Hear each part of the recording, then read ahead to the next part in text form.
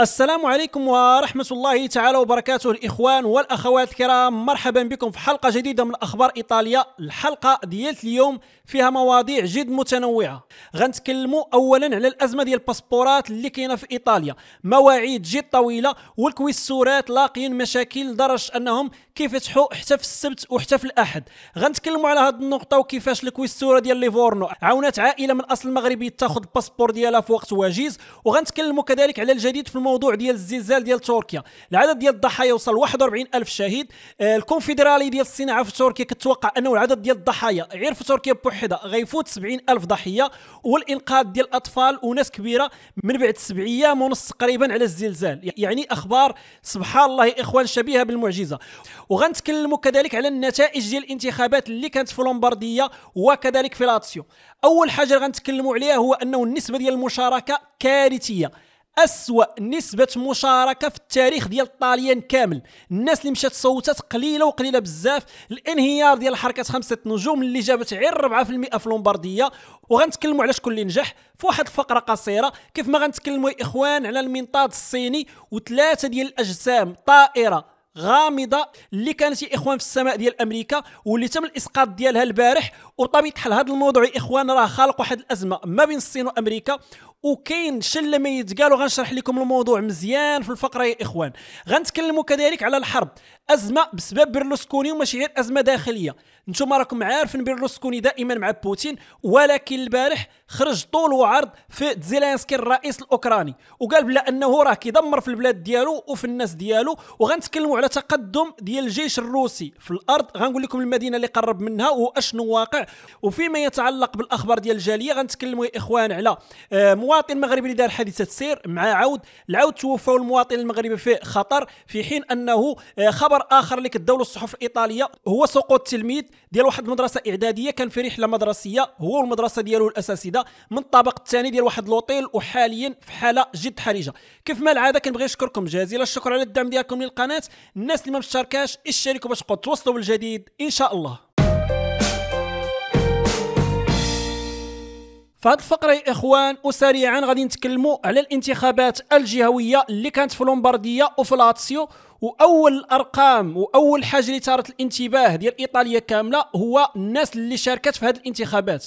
بطبيعة الحال كنتكلموا يا إخوان على نسبة المشاركة نازلة ونازلة بزاف وما عمر هاد جوج ديال الجهات وصلوا لهذه النسبة ديال المشاركة. بالتحديد كنتكلموا على أنه في لاتسيو النسبة ديال المشاركة ما وصلتش 40% غير 37.2% يعني في كل 100 مواطن 37 هم اللي مشاو صوتوا أما في لومبارديا النسبة فاتت 40% ولكن هادو يا اخوان اللي كتشوفوا معايا نسب المشاركة الأسوأ في التاريخ ديال الانتخابات الجهوية في إيطاليا كاملة. ودائما المشاركة كانت كتكون ناقصة في المناطق الجنوبية الناس ما كانتش كتصوت بزاف في الجنوب.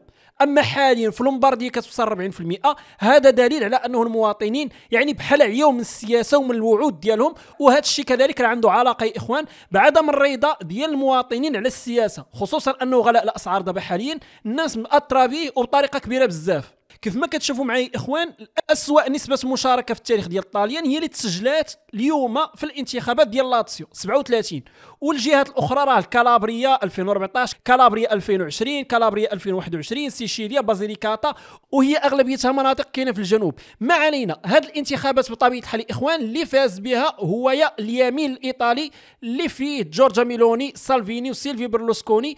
وبطبيعة الحال آه، في اللومباردية احتفظوا على الجهة اللي كانت عندهم في يديهم واللي كان رئيس هو فونتانا. وفي لاتسيو الجهة كانت في اليد اليسار ولكن انتقلت يا إخوان إلى اليمين الإيطالي. بطبيعه الحال فونتانا كيعاود ياخذ الرئاسة من جديد. من بعد اخوان الفترة الرئاسية اللي دازت اللي كانت كارثية وكتبين على أنه الإيطاليين عندهم الذاكره ضعيفة.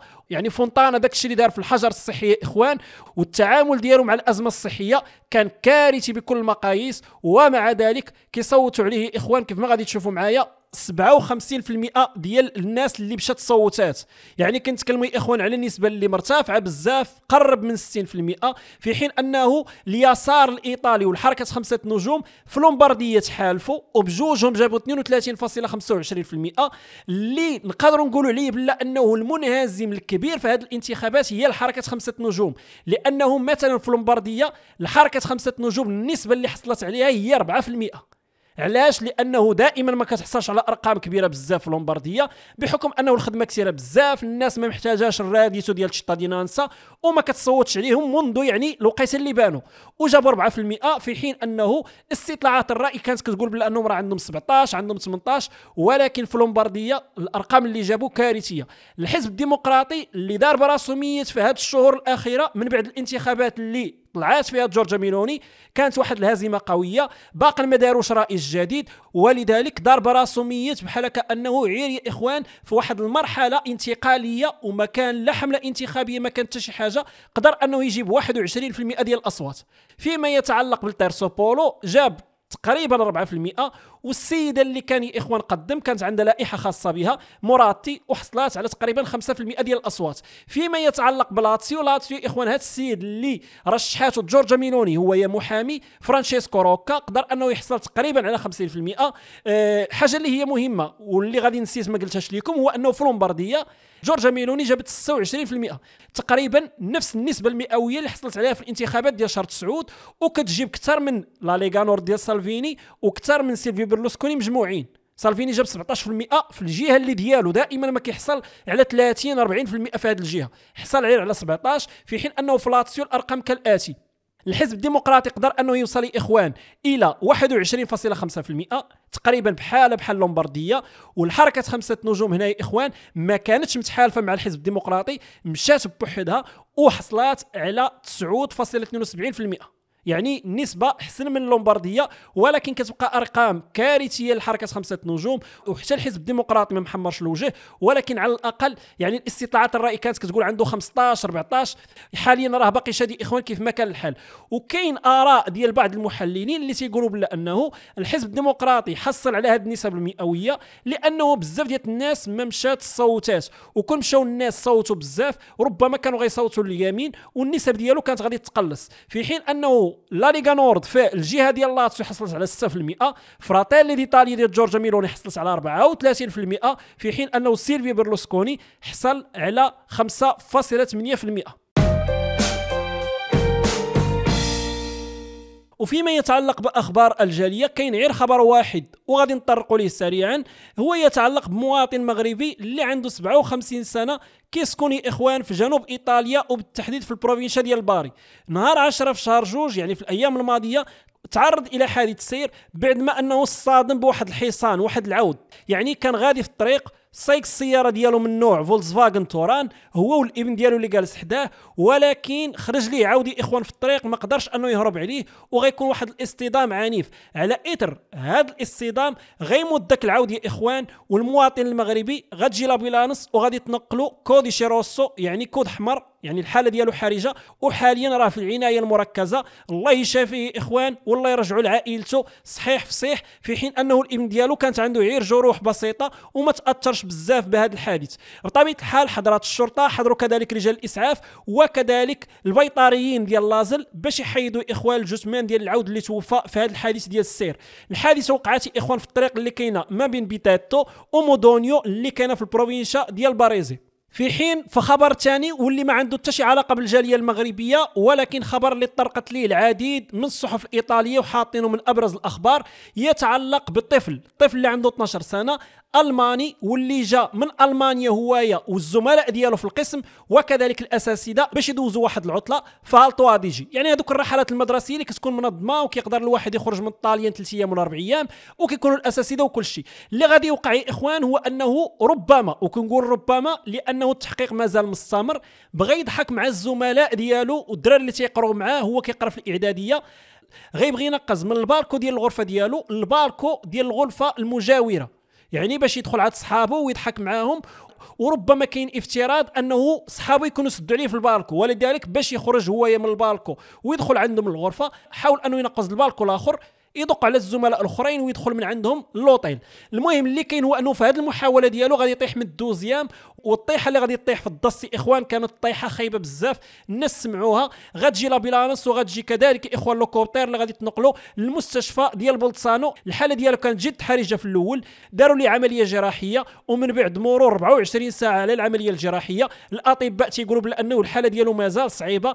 الزملاء ديالو الاساتذه بداو كيوجدوا الرحلة ديال الرجوع إلى ألمانيا. كلهم مصدومين لهذاك الشيء اللي وقع. وبحكم أنه البوليس اللي كان في مدينة بولسارو عند الشرطة الإيطالية الأغلبية ديالهم كيتكلموا كذلك اللغة الألمانية ساعدتهم في التحقيق. والتحقيق راه مازال مستمر باش يعرفوا واش اختياريا بغى يدوز من بالكو إلى آخر أو أنه سدوا عليه وحاول أنه يدخل الفندق عن طريق تنقاز إلى البالكو ديال الغرفة المجاورة. فهاد الفقرة يا إخوان غادي نطرقوا للازمه ديال البالون أو ديال المنطاد الصيني اللي كان كيحلق فوق الأجواء ديال كندا وكذلك ديال أمريكا. بطبيعة الحال الخبر وقع في الأيام الأولى ديال شهر جوج ولكن في هاد الثلاث أيام الأخرى وهذا الشيء علاش غنتكلم على الخبر أمريكا طيحات ثلاثة الأجسام طائرة غامضة. ما عرفوهاش شنو هي, هي ولكن طيحوها لأنه كانت كتشكل خطر على الطيران المدني. يعني الطيارات اللي كيركبوا فيهم الناس. ولكن هذه النقطة خاصني نتكلم عليها باش تفهموا أشنو واقع. اللي كاين إخوان هو أنه حاليا الولايات المتحدة الأمريكية في البداية ديال الشهر كان واحد المنطاد اللي كانوا متبعينه كبير بزاف يعني ماشي صغير كبير بزاف وكان كيحلق فوق الأجواء ديالهم وحلق كذلك وطار فوق واحد القاعدة عسكرية أمريكية اللي فيها صواريخ نووية. التهمة اللي موجهه للصين وهذا المنطاد راه ديالها واعترفات وقالت بلا أنه راه ديالي وجهوا لها التهمة ديال أنها كتجسس. ولكن الصين كتقول لهم لا هذاك المنطاد ماشي ديال التجسس ولكن ديال الأرصاد الجوية كيعاوننا باش نديروا التوقعات ديال الجو. بطبيعه الحال فيما يتعلق بالتجسس الصين ولا أي دولة في العالم ما محتاجاش واحد المنطاد باش تجسس يعني غادي تصور به. يعني غادي تحتاجوا لأغراض أخرى لأنه باش تصور مواقع اللي هي سرية أو قواعد عسكرية راه يكفي الأقمار الاصطناعية اللي جميع البلدان عندها. حتى المغرب راه عنده هذه الأقمار الاصطناعية واللي تقدر تصور ليه كذلك واحد العملة نقدية. مثلا أورو اللي طيح في الأرض كتصوروا بدقة عالية. بطبيعة الحال السؤال اللي غيطرح نفسه لذلك هذا المنطاد علاش كانوا كيستعملوه؟ وأشنو الهدف اللي كان من وراه؟ على حسب ما كيقولوا الأمريكان هذا المنطاد كانوا كيتجسوا به على الموجات ديال الراديو ديال العسكر. بطبيعة الحال من بعد أيام الأمريكان قدروا أنهم يطيحوه صيفطوا له طائرة عسكرية من نوع اف 22 وتفرقع حداه واحد الصاروخ ومن تفرقع حداه شعلت فيه العافية وهو يطيح. مشاو جبدوه من البحر باش يديروا عليه دراسات ويعرفوا أشنو كان فيه. بطبيعة الحال في هذه الأيام الماضية نهار 10 نهار 11 ونهار 12 يعني البارح ثلاثة الأجسام أخرى دائما طائرة ودائما غامضة ما حدوهاش واش بالونات ولا منطادات كانت كتحلق فوق الأجواء الأمريكية. ولذلك أجسام اللي في هذه الحالة هاد الثلاثة الآخرين ماشي كبار بزاف بحال المنطاد الأول اللي كان كبير. هاد الآخرين قال لك كبار قدهم قد واحد السيارة من النوع الصغير.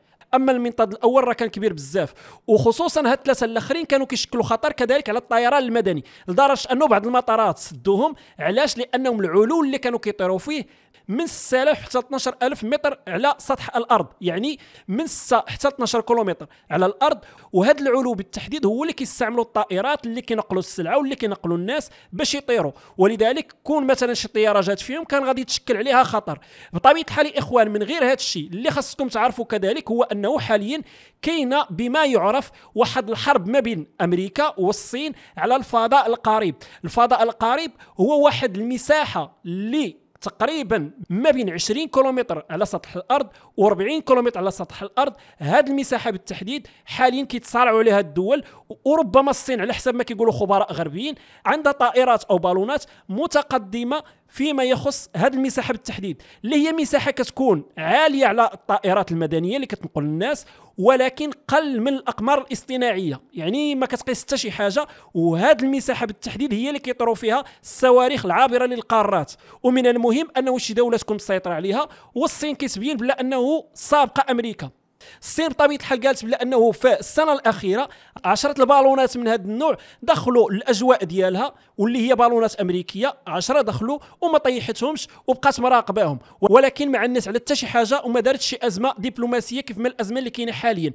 وبطبيعة الحال الخبراء كيتكلموا على واحد الصدمة ديال أمريكا. يعني بحال الصين سابقاهم في هذا المجال وبطبيعة الحال ما تقبلوهاش كيف ما ما كانوش تقبلوا في السبعينات أنه الاتحاد السوفيتي صيفط أول قمر اصطناعي في الفضاء.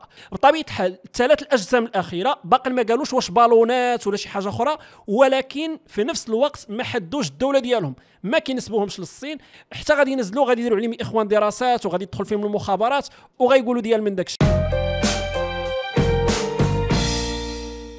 هذه الفقرة يا إخوان غنتكلموا على الأزمة ديال الباسبورات ديال الطاليان. باسبور احمر وماشي باسبور مغربي. ولذلك غادي نتكلموا عليهم وغنشوفوا كذلك أشنو قال الوزير ديال الداخلية بيانتيدوزي وباش نشرح لكم أشنو واقع اللي واقع هو أنه الناس ملي كتبغي تجدد الباسبور ديالها إلا بغات تاخذ الموعد كتلقى الموعد معطل بزاف. ربما في بعض البروفينشات وفي بعض الكويستورات الواحد كيدخل الموقع كيلقى أول rendez-vous متاح كيكون من هنايا لست شهور من هنايا لخمس شهور.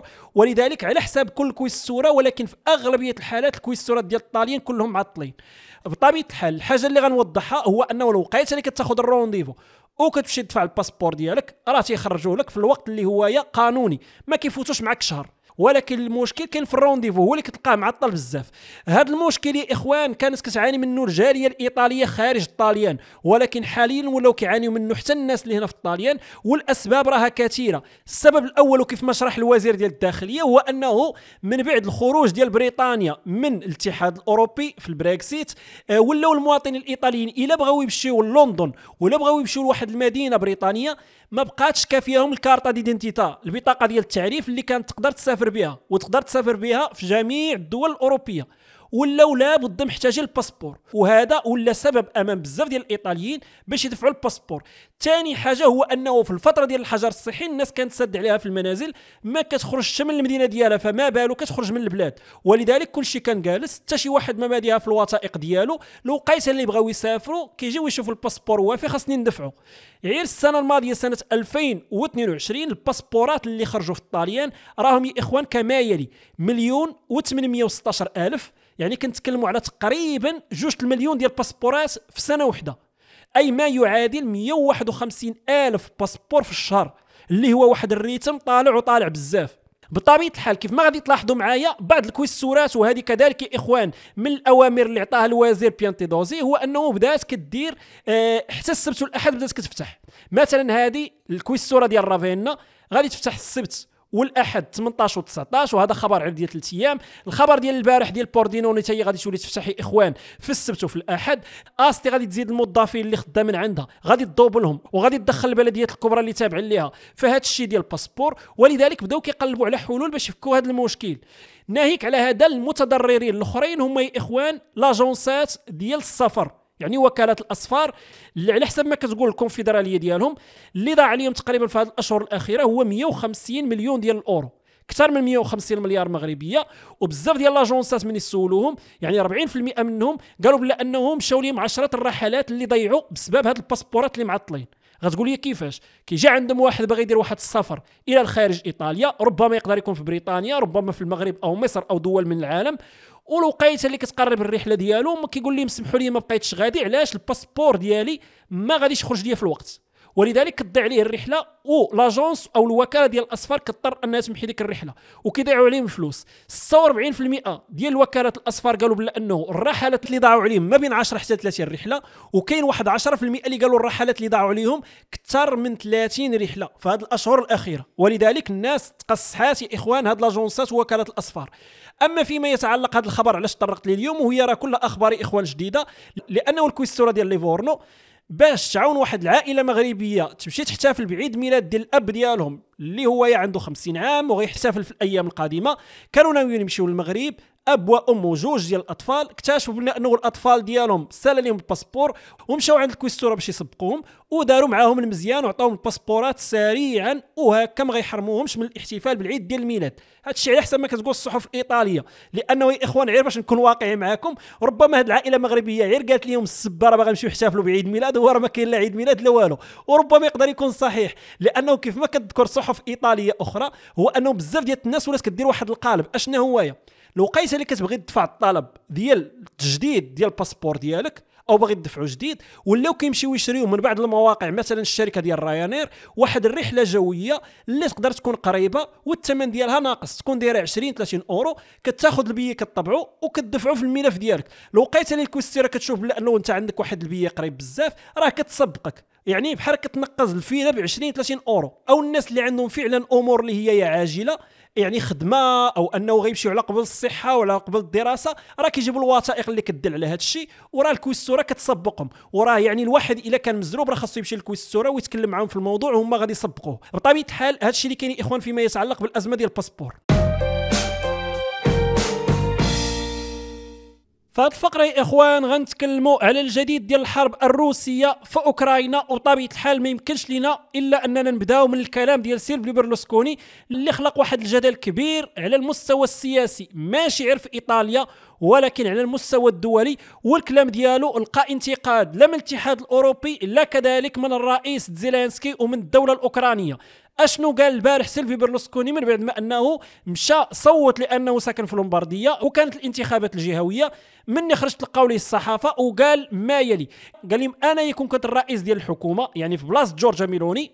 حيت جورجا ميلوني في الأيام الماضية تلاقات مع زيلينسكي وتكلمت معاه وضحكت معاه وتصورت معاه قال لهم أنا يكون كنت في بلاصة ما كنتش غنسلم عليه نهائيا لأنه زيلينسكي حاليا عنده مسؤوليات كبيرة في داك الشيء اللي كيوقع في أوكرانيا. كيدمر في الجيش ديالو وكيدمر في بلاده وكيدمر في الناس ديالو وكان ربما يكفي أنه ما يبقاش يهاجم.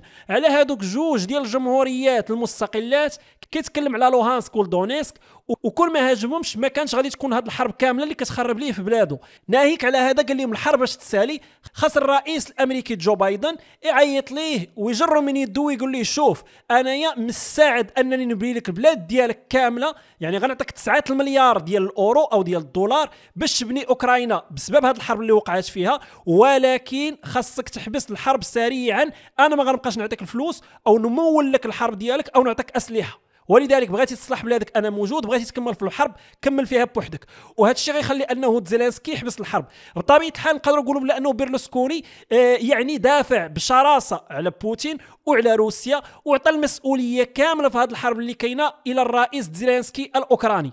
بطبيعة الحال بيرلوسكوني وبوتين راهم أصدقاء وكيف ما قالوا الأوكرانيين هاد الخرجة الإعلامية ديال سيلفي بيرلوسكوني ما هي إلا إعلان على الوفاء ديالو إلى بوتين. يعني بحال كيبوس ليه يدو وهذا الشيء اللي قالوا هما بيرلوسكوني كيبوس اليدين لبوتين وبوتين راه يديه كلها عامرة دم من الصبعان حتى للمرفق. ولذلك هذه هي الصورة اللي قالت الحكومة الأوكرانية. بعيدا على هذا الشيء إخوان مسؤولين في الحكومة الإيطالية وكذلك من الاتحاد الأوروبي رفضوا انهم يعلقوا على الكلام ديال سيلفي بيرلوسكوني وقالوا بلا انه الكلام اللي كيهمنا هو اللي كتقول جورجا ميلوني والرأي ديال جورجا ميلوني والقرارات ديالها راها واضحة للغاية. 100% مع زيلينسكي ومع الشعب الأوكراني. يعني ما نحتاجوش نعلقوا الكلام ديال سيلفي بيرلوسكوني اللي ماشي هو الرأي ديال الحكومة. فيما يتعلق بالحرب الحرب وكيف ما كيقول إخوان حلف الناتو يعني ما غاداش في الاتجاه اللي باغي الغرب. لأنه الجيش الأوكراني يتكبد خسائر كبيرة. مشات ليه مدينة اللي كتبعد 8 كيلومتر على شمال باخموت باخموت هي المدينة اللي نايض عليها الصداع بزاف واللي هي استراتيجية وهذه شي ثلاث شهور ولا أربعة هما كيتضاربوا عليها. وهي غير مدينة صغيرة ولكن ملتقى ديال الطرق ومهمة بزاف. واللي خداها من الناحيه ديال ال logistique الحالة ديالو غادي تتحسن المهم حاليا مدينة اللي قريبة منها خدوها الفاغنر اللي هما إخوان واحد الكتيبه privée خاصة ماشي تابعه للجيش الروسي ولكن كتخدم لصالح الجيش الروسي. خداوها وربما يكون واحد الانسحاب استراتيجي من الأوكرانيين لأنه الأوكرانيين كيتكبدوا خسائر كبيرة وصراحة الخسائر كذلك عند الجيش الروسي. كيف ما كيقول حلف الناتو كنلاحظوا بلا أنه بوتين كيصيفط واحد العدد كبير ديال الكتائب العسكرية وعدد كبير ديال الجنود. لأنه ما عندوش الكاليتي يعني ما عندوش الجودة في الجيش ديالو كيحاول أنه يلعب على الكمية. ولذلك ناقصة الجودة كنصيفط كمية ديال الجنود كثار. غادي تكون عندي خسائر كثيرة ولكن غنقدر أنني نقضي الغرض ديالي. بطبيعة الحال هذا الشيء اللي واقع إخوان حاليا فيما يتعلق بالحرب وفيما يتعلق بأمور أخرى. فرنسا كتعلن وكتطلب من المواطنين ديالها أنهم يغادروا بيلاروسيا اللي هي إخوان الحليف ديال روسيا وكتقول لهم خرجوا من البلاد. وكذلك أمريكا كتقول جميع المواطنين الأمريكيين أنهم يغادروا سريعا روسيا وما يبقاوش فيها وتعليقا على هذا الأمر المتكلم بالاسم ديال الكريملينو قال بلا أنه أمريكا دائما ما كانت كدير هذه الإعلانات. ماشي أول مرة كتطلب من المواطنين ديالها أنهم يخرجوا من روسيا وهذا الشيء راه تعودنا عليه. في حين أنه وهذا آخر خبر حلف الناتو غدا في مدينة بروكسل غادي يحاولوا أنهم يدارسوا الأمر ديال أنهم يعطيو طائرات حربية إلى أوكرانيا. هذا هو المطالب أو المطلب الكبير اللي كان عند زيلينسكي من بعد إخوان الدبابات يعني هذاك ال tank. غيحاولوا أنهم يدارسوا الأمر باش يعطيوه طائرات. يعني النقاش يلا غيبدا غدا وربما من هنايا واحد 3 شهور ولا 4 شهور غيقولوا لي OK غنعطيهم لك. ومن جهة أخرى حلف ناطو تيقول لك حنايا خاصنا نسرعوا اللوجيستيك باش نصيفطوا الأسلحة إلى أوكرانيا لأنه كل ما كنا نسرع كل ما غنقدروا نقضوا الحياة ديال المواطنين الأوكرانيين. إلا تعطلنا هذاك التعطال ديالنا غيكلفنا بزاف ديال الخسائر في الناس يعني في الجنود وكذلك في المدنيين. وفيما يتعلق بالزلزال المدمر اللي ضرب تركيا وكذلك سوريا غادي نشوفوا الجديد ديال الأخبار. واخا يعني كنلاحظ بلا أنه الأخبار الأغلبية ديالها كتوصل إخوان من تركيا في حين أنه من المناطق السورية الأخبار اللي كتوصل قليلة وقليلة للغاية. ومني كتوصل كتوصل يعني من عند مؤسسات كبرى يا اليونيسيف يا الأمم المتحدة أو منظمة الصحة العالمية أو من الحكومة السورية.